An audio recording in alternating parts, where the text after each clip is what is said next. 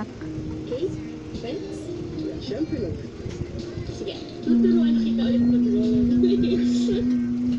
Okay, I guess I forgot something. So, I'll leave you guys in here. Can everyone help that girl in the lift right now? Cause she just still had those pants.